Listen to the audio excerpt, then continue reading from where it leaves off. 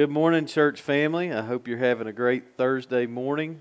And uh, what a beautiful day the Lord has given us. Uh, just that blue sky against all those colorful leaves. And uh, we're just so thankful for the beauty that we get to enjoy here in Western North Carolina. And uh, trust that you're having a great morning. And uh, we want you to join with us now as we go to God's Word.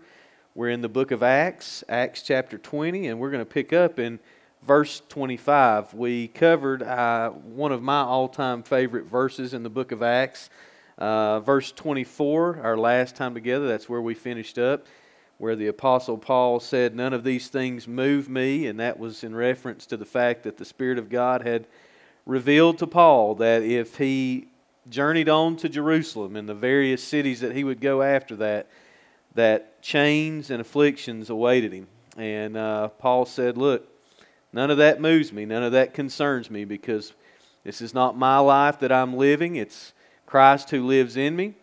And he was committed to the cause that God had called him to. And uh, he was going to be faithful until the end. And so we're going to pick up in, uh, in verse 25. And so if you've got your Bible there, open it up there with us and, and follow along as we read. So, Acts 20, verse 25, the Bible says, and now, behold, I know that ye all, among whom I have gone preaching the kingdom of God, shall see my face no more. Wherefore I take you to record this day that I am pure from the blood of all men. For I have not shunned to declare unto you all the counsel of God. Take heed, therefore, unto yourselves and to all the flock over the which the Holy Ghost hath made you overseers, to feed the church of God which he hath purchased with his own blood. For I know this, that after my departing shall grievous wolves enter in among you, not sparing the flock. Also of your own selves shall men arise, speaking perverse things to draw away disciples after them. Therefore, watch and remember that by the space of three years I cease not to warn every one night and day with tears. And now, brethren, I commend you to God and to the word of his grace which is able to build you up and to give you an inheritance among all them which are sanctified. I have coveted no man's silver or gold or apparel. Yea, ye yourselves know that these hands have ministered unto my necessities and to them that were with me. I have showed you all things, how that so laboring ye ought to support the weak and to remember the words of the Lord Jesus, how he said it's more blessed to give than to receive. And when he had thus spoken, he kneeled down and prayed with them all. And they all wept sore and fell on Paul's neck and kissed him, sorrowing most of all for the words which he spake, that they should see his face no more. And they accompanied him unto the ship. And that finishes up Acts chapter 20. There's a lot that goes on here. I was sharing with Pastor John before we began this morning that um, this passage of Scripture for me uh, is uh, Paul's word to preachers. He's really speaking uh, to the leaders of the church. He loves this group of people, he spent a great deal of time with them. And uh, you just hear Paul's heart here uh, for the people that God had called him to interact with. And um, we look there in verse 25, it says, And now behold, I know that, uh, that ye all among whom I have gone preaching the kingdom of God shall see my face no more.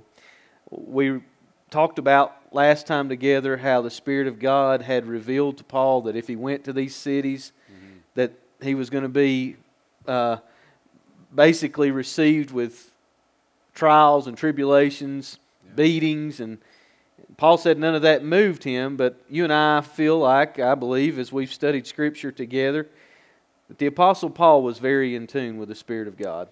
Yeah, it's it's pretty evident here that this had to be a shocking news to to this church. You know, yeah. these people that that he dearly loved, and yeah, he was certain. He he had to be certain of what he felt God had told him yeah. before you make a statement like that. Right.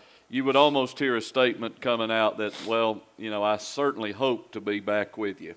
Yeah. But he's confident. I mean, there's a confidence here that he says, I, I, I know that you all, he uses the words, I know, yeah. you're not going to see my face anymore. Right. The time we've spent together is as much as there's going to be. And, uh, and, and having said that, there had to be a shock wave that oh, went absolutely. through these people. If we look down to verse 38 again, uh, we see that they were sorrowing most of all Yeah. for the words that he said. So one, you probably just imagine in your mind that uh, when Paul said these words, "You'll see my face no more," the tears probably began to fall. Yeah. Um, there was probably a lot of sniffling in the background, and uh, and yet he still wanted to leave them with some encouraging words. Right. That's what he packed into these few verses that you just read to us.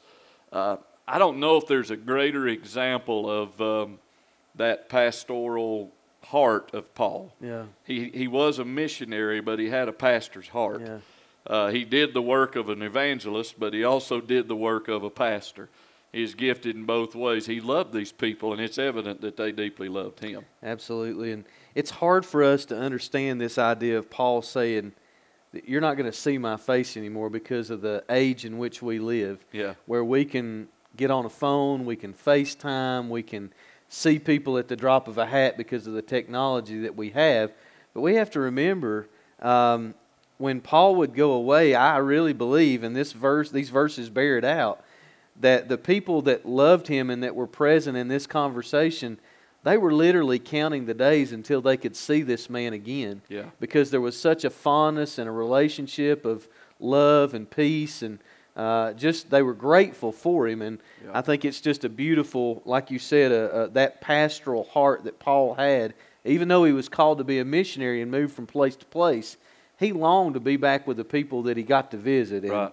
Um, Yeah, I think about you know when he when he was getting ready to talk to him after he made that statement.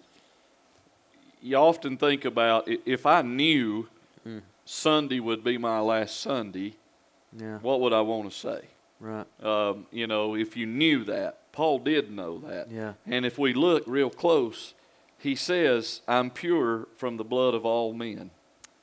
Uh, I want you to know that. He said in verse 27, I've not shunned to declare unto you all the counsel Yeah. of God. I've done my job.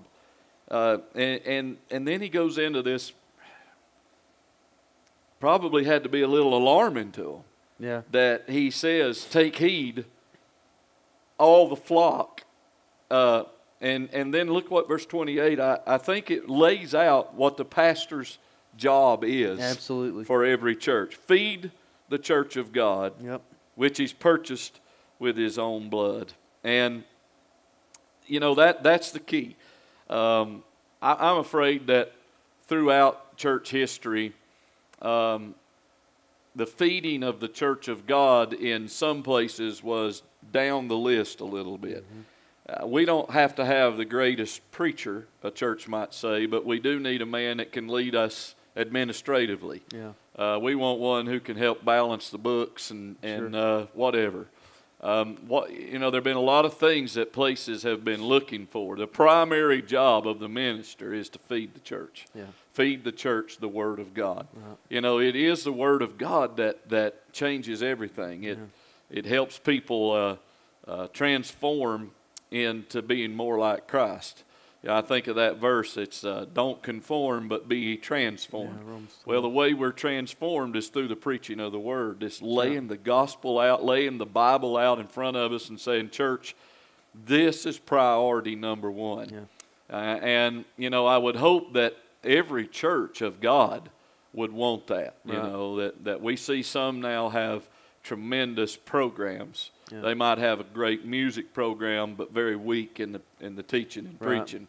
Um, then you know, there's how far can you go with that? Yeah. There has to be some depth in those classrooms. There Right. has to be some depth from the pulpit. If you look at the strongest churches that we know in our lifetime, Mm-hmm. the the churches like uh, First Baptist Jacksonville with Jerry Vines and Homer Lindsay, and you Mm-hmm. think about Adrian Rogers' leadership, you think about David Jeremiah's leadership, the great churches through the years, First Baptist Dallas through the years with Criswell and the great teachers and preachers, they stayed a long time. And they put a huge emphasis on the on Yeah. the feeding of the flock. They put a premium on the Word of God. Exactly. They really decided from day one that when you know, as God led them to those places, uh, there was a hunger already there that existed for the Word of God, but the passion existed within all of those men Yeah. to make preaching a priority. And, you know, I totally agree with you that throughout the ages, unfortunately, uh, that, that uh, qualification for a church, perhaps it's maybe looking for a pastor. Yeah. Um, like you said, some for some reason, putting a premium on preaching has dropped on that qualifications list to where, and, and it's, hear me out, those things that have been placed above it are good in and of themselves. Right. I, you know, the, Right. the visiting of folks, the, the checking in on people, the administration, all of that stuff has its place inside the, the church itself. But we have to understand that according to Scripture, a pastor's number one responsibility is to preach the gospel Right. and and to feed the flock of God that God has divinely called that pastor to lead and guide and direct because first and foremost you and I will have to stand before God one day Absolutely. and give an account for every sermon and every teaching lesson and every opportunity we've been given to stand before a group of people and to expound or exegete the Word of God. And Yeah. um, really important to make preaching a premium. It is, and you know we don't want to belabor this point, but it is a huge point. You know, a a pulpit committee that comes together to seek a pastor. To me, my instruction coming from the pastoral side is listen to the man preach. Yes, absolutely. You know, there's a lot of times a pastor's brought in and preaches one little sermon. Uh, I've always thought it might be wiser if the church brought him in for a series of, of, of nights get to me. you know, yeah. a Sunday through Friday, whatever, Wednesday, and, and hear him over and over again. Is this a man that's that we feel like God's using to feed us, not to just nourish one us? polished sermon that he's worked on. Yeah, exactly. Yeah, exactly. absolutely. You know, that's where we set our roots down is in the teaching and the nourishment of God's word. Absolutely. Paul took it though. There's a second thing I think, uh, and and here's where we have to be careful. You know, our primary job is to feed the flock of God, to nourish the flock. Do you ever find yourself getting distracted?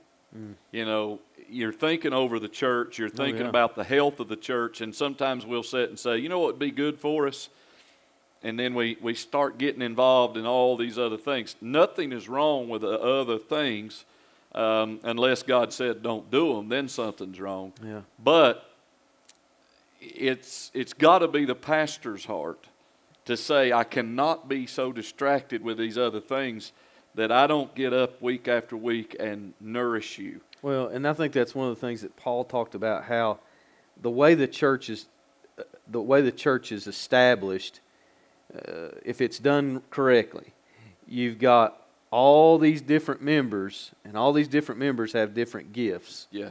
And I think one of the reasons why God has, uh, I think, blessed our relationship as pastors here at Calvary Road is um, it's not that we both don't have a passion to preach. We do. Yeah. We love to preach. But there are certain things that I do that it, it takes that responsibility off of you.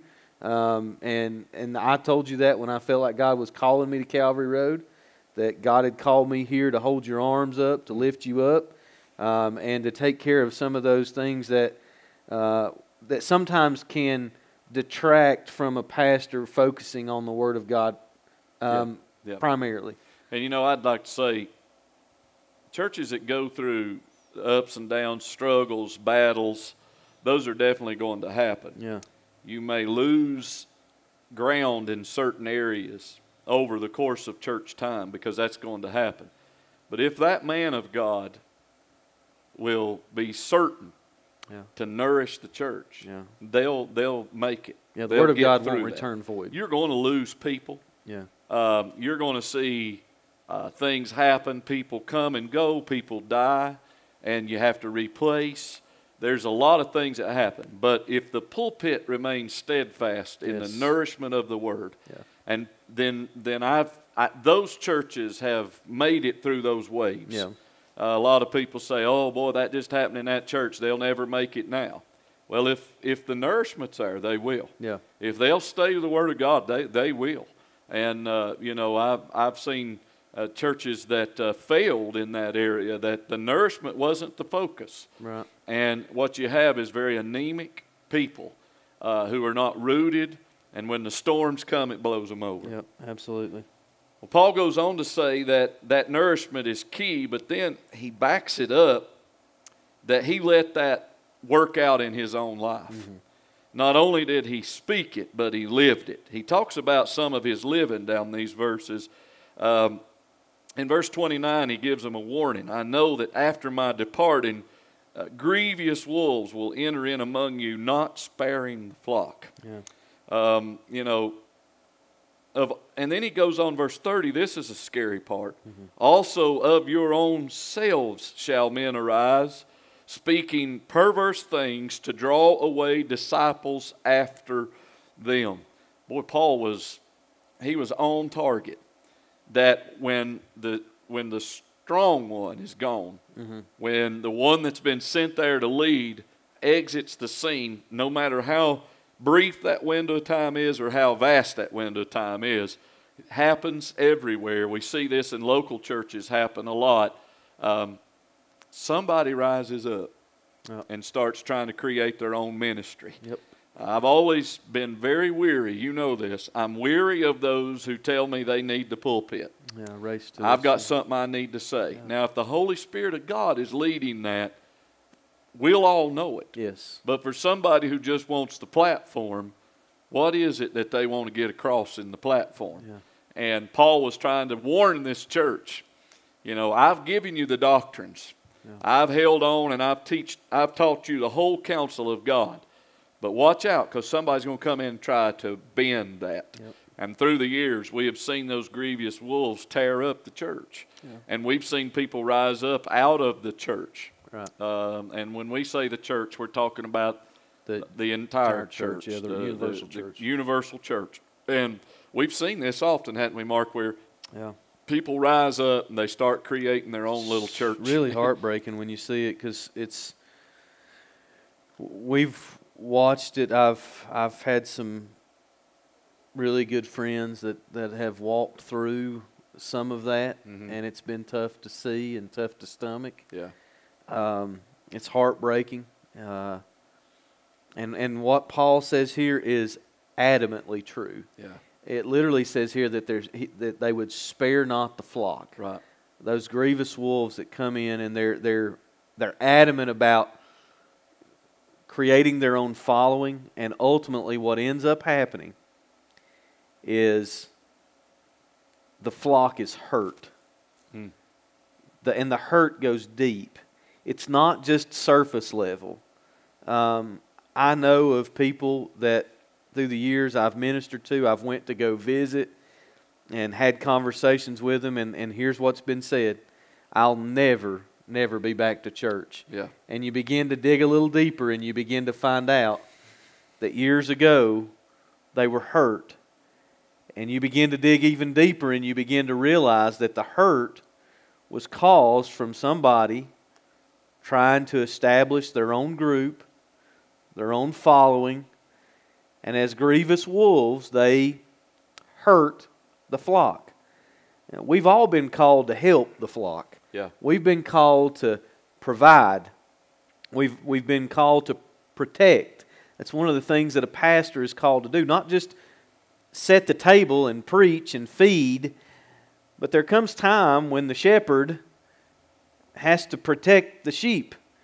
And I, I've laughed. You know, we did a Christmas program for years here at Calvary Road, and I played one of the shepherds, and I had to yell, "Protect the sheep." that was one of my lines. They didn't give me but a few. Yeah, what was uh, funny is, is that they were goats, goat. so um, I didn't even know the difference. That's just uh, that's some inside comedy there. But um, but as a shepherd, we have the responsibility uh, when we see those grievous wolves quickly approaching. We've got to protect the sheep. We've right. got to protect the flock. That is a responsibility that God has given us. Not only will we stand before God and give an account for every message we've ever preached. But I believe that as pastors and leaders of the local church, we will also have to stand and give an account for every time that we were called by God to stand between the grievous wolves yeah. and the sheep that yeah. God's called us to pastor. Absolutely, absolutely. And you know, when you look on down, let's let's go back and uh, and uh, I'm going to ask Tony and the guys in the room if you can uh, look up First Peter chapter 5, verse 2. We're going to go there in just a minute. And uh, Paul is saying to this church, watch out for the flock. Don't, uh, don't, don't be surprised because there's going to be wolves rise up. And, and Paul is laying out his heart for the way things ought to be handled. And in verse 33 of our text today, he said, I coveted no man's silver, no man's gold, no man's apparel. Um, he, he, he said that the work I did, I did because I love you. And you wonder, did this teaching catch on? Is it, is it mm. something that these men felt? Well, Peter writes too in 1 Peter chapter 5, and we look at verse 2, how these passages seem to flow together. And the Bible says in 1 Peter chapter 5 verse 2, feed the flock of God. There it is again. That's our job. Make sure we feed the flock of God, taking the oversight thereof, not by constraint. Yeah. You know, you're not it's not an obligation, and then you do this willingly. Right. And then watch this, not, not for, for, filthy, filthy lucre, but of a ready mind. Yeah. So Paul and Peter's heart, it's no wonder God used them in the church as yeah. much as they did. You know, Peter's in, in this passage is describing several characteristics of good leaders. Yeah. Uh, number one, they realize they're caring for God's flock, right. what you were just referring Amen. to. It's not our flock. No, it's His. It's flock. God's flock. Amen. Number two, they lead out of eagerness to serve, not out of obligation. Mm, that's good. You know, if you've got somebody that's saying, "Well, I have to do this," you've got a problem. Yeah. You know, the man of God ought to come in and say, I get to, I get to do get this. To I'm this. eager to do yeah. this. Number three, concern for what they can give, not what they can, get. Yeah. What can God use me to give? And then number four, lead by example and don't lead by force. Mm, that's good. And when you go from Acts and hear Paul's heart, and you go into Peter and hear Peter's heart, that's the heart. It adds up, doesn't it, scripturally? Yeah. That is the heart of the man of God. That's what the heart of the pastor ought to be. I am here not out of obligation. I am here because I love you. Now we go back to our Acts passage, Acts chapter 20.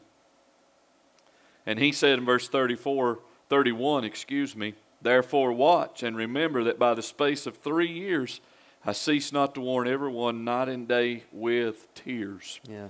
He had a heart for them. And then he said, Now, brethren, verse 32, I commend you to God and to the word of his grace, which is able to build you up to give you an inheritance among all them which are sanctified.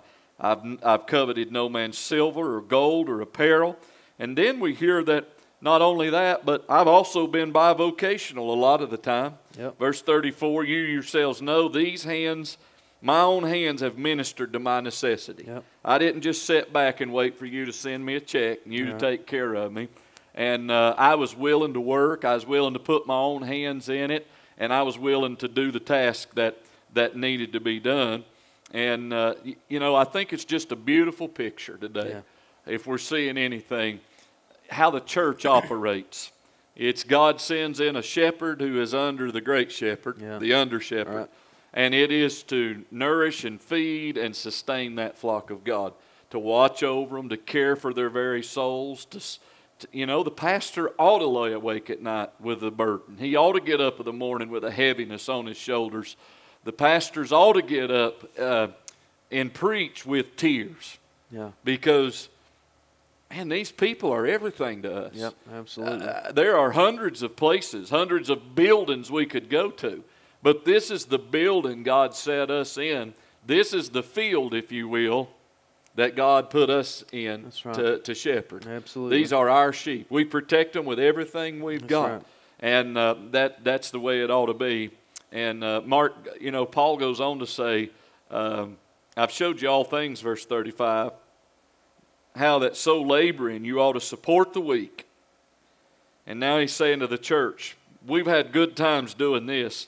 We've had good times giving yeah. And and it's not all about receiving. Right. You know, a church. I love in this church when we announce that we've just given a big gift to a ministry or a missionary or or God's burdened us for somebody.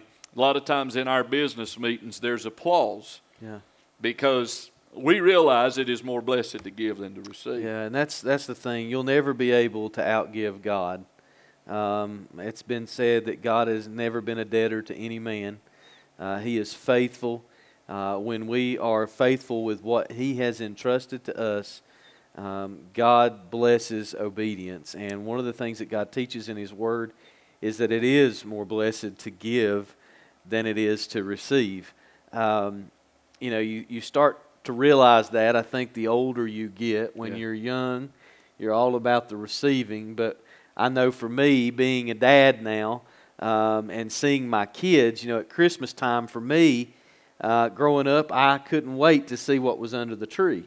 You know, I couldn't wait to see what I was getting. But now, as a dad, I can't wait to see the reaction of my children for what I've been able to give them. Yes. And I think that's one of the things that Paul was trying to encourage the church with. He was simply saying, Look, I know when you're young, all you can think about is what you can get. Right. But as you mature in your faith, as you grow in the Lord, you begin to realize that it's not about what you can get out of this life, but rather it's what you can give in this life and through this life. Because we'll never be measured by what we have gained because we can't take any of it with us. You can't. Uh, it's been said you've never seen a hearse with a luggage rack. Nope. You can't take it with you.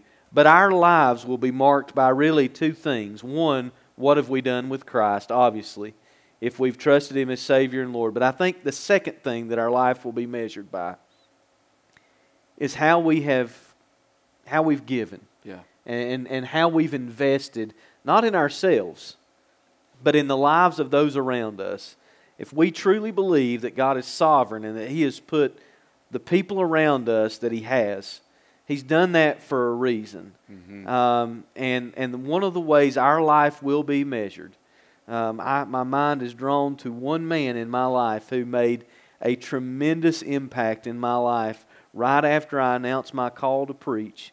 Uh, his name was Bob Hooper. Um, giant of a man, loved the Lord, uh, was a deacon in the church that I was attending at the time, announced my call to preach, and I remember very distinctly that, that, that day that I announced my call to preach. He walked over to me, put his big arm around me, and he said, Son, I want you to know that God's put it in my heart to see to it that your schooling is paid for as far as you want to go. Mm. And I will never forget that. And his life, number one, was marked with he knew the Lord, no doubt about it. But number two, his life was marked by how he invested in the lives of other people yeah. and how he was a cheerful giver. And I think that's what Paul talks about here. And on top of that, you finish out verses 36 through 38 there. After Paul shares all of this, he, he, he gets down on a knee, he kneels down, and he prays with them all. What a, what a beautiful picture of a heart of a man who loves the people that's around him and it says they all wept sore and fell on Paul's neck and they kissed him. There was love and affection, and uh, I think it speaks highly of a church as to how they how they love and they respect and uh, care for a pastor, you know. And then on top of that, they were brokenhearted that they were not going to be able to see him anymore following yeah. this this last encounter that they had with him. Yeah, I know it sounds sad, but it's really the way it ought to be. Yeah, there ought to be, be, that kind of love. I've always prayed that every church I leave, yeah, I leave it in a way I could come back. Absolutely. You know, yeah. and there ought to be that kind of love about it. Um, certainly, I've been blessed in all three churches God's let me pastor that.